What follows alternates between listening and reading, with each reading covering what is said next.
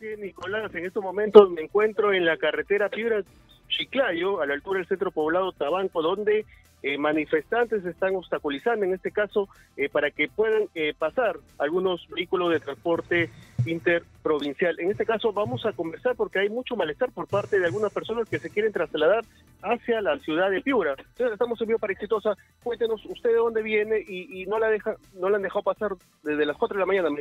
sí, nosotros estamos viniendo desde la ciudad de Lima con destino a Morropón y nos damos con la sorpresa que acá este hay paro, no, no nos dejan pasar. Aparte este, estoy con mi hijo que está enfermo, lo estoy trayendo desde el Hospital del Niño de Lima. Y mi hijo sufre de hidrocefalia. ¿Y qué, le, qué, qué, es lo que le dicen los manifestantes? Que simplemente que no hay pase, porque están haciendo el paro. Nicolás, en esta, en este, en esta carretera Piura Chiclayo, a la altura del centro poblado de Tabanco, eh, han obstaculizado el pase con ramas de árboles y también con alguna llanta. Estamos en vivo con otra señora. Señora, ¿usted se traslada también a la ciudad de Piura? Sí, también me traslado. También tengo mi niño enfermo. También vengo desde Lima hasta Morropón, pero no hay pase, no dejan pasar. Hay varias criaturas acá enfermas. Nosotros queremos solamente la solución que nos dejen pasar. Eso es lo que pido, nada más. Señora, y, cuando ustedes han entrado al diálogo con, con estas personas que están bloqueando, ¿qué les han dicho? No, cuando yo he sacado mi pasaje no me han dicho nada que iba a haber todo esto, si no, no hubiera viajado tampoco, porque tengo a mi hijo enfermo ahorita yo acá también en el carro. Así es, Nicolás, esta es la situación que se vive en este punto de la carretera Piura Chiclayo.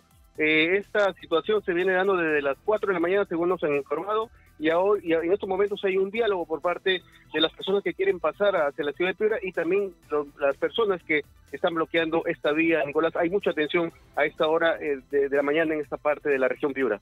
Eh, Cristian, ¿no sería posible conversar con las personas que están bloqueando la carretera? Sí, ah, vamos a conversar en estos momentos con las personas que están bloqueando para también eh, tener eh, su, su, su versión. A ver, un ratito para conversar, ¿ya?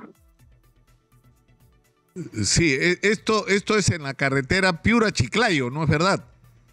Sí, en la carretera Piura-Chiclayo, eh, a la altura del centro poblado de Tabanco, porque, porque también eh, la, en este caso las personas que están en estos vehículos varadas están pidiendo la intervención de la policía representante. Señora, usted este, es una de las personas damnificadas.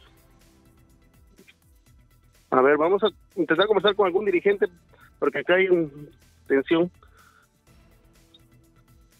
Sí, lo que queremos es escucharlo, saber por eh, el, motivo de la protesta, por qué están bloqueando, qué se va a hacer con las personas que tienen urgencias de, trasladarse, como el caso de la señora que tiene un niño con hidrocefalia, ¿no? Y que...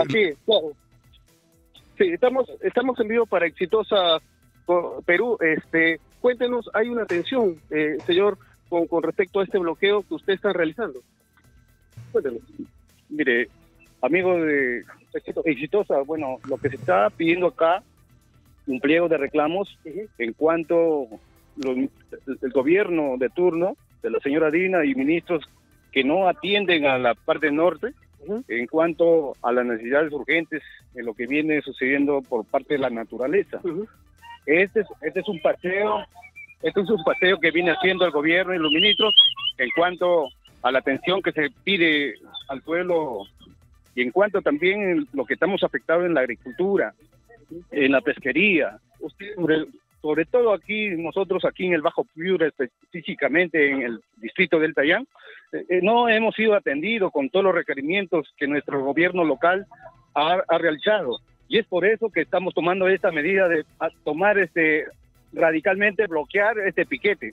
Y todavía esperando una respuesta de que el gobierno dé una solución en el día de hoy en una reunión que ha sido programada en el gobierno regional. Ustedes son damnificados del 2017 y también de esta lluvia. Somos damnificados desde el año del 1983 y, y en varios fenómenos del 2002, del 2017 y aún todavía en lo que en lo que falta de la reconstrucción no se ha atendido aquí en lo que es eh, específicamente en el distrito del Tayán y todo lo que es el Bajo Piura. Son 65 alcaldes a nivel de la región Grau que están en este plan de lucha para de esta manera hacer escuchado su, su plan de, de contingencia, lo que está pidiendo los amigos del norte. Así que entonces eso es lo que el pedido que estamos haciendo acá y estamos ubicados en, este, en esta tranquera. ¿Cuál es su nombre?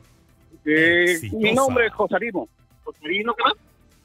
Josarimo es mi nombre con medidas, no, no me pueden sea, muchas gracias. Ya, ok, en estos momentos, Nicolás, ya se está desbloqueando esta parte de la vía y ahora ya se está permitiendo el acceso hacia la ciudad de Piura de estos vehículos de transporte interprovincial que se encontraban va- varados, Nicolás. Qué bueno, qué bueno. Muchas gracias, Cristian, por la, por la información.